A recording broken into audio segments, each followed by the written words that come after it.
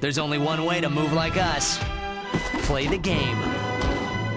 TMNT, the video game. Rated everyone 10 and up.